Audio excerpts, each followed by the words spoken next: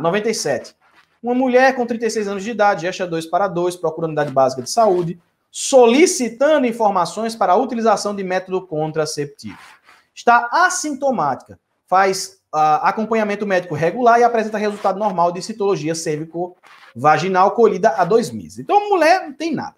Registra-se como antecedente colecistectomia há dois anos, que cursou com trombose venosa profunda no membro inferior direito no pós-operatório. Então, é, ter tido trombose venosa profunda contraindica o uso de estradiol, contraindica o uso de estradiol. Então, a alternativa que não tiver estradiol vai ser a certa.